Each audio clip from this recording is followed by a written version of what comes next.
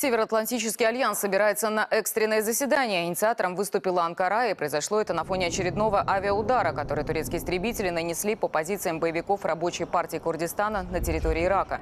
О жертвах и пострадавших пока не сообщается. Операция стала ответом на подрыв военной машины, в результате которого погибли два турецких солдата. Сразу после авиаудара по Ираку в Стамбуле вспыхнули массовые беспорядки, организованные радикальными группировками.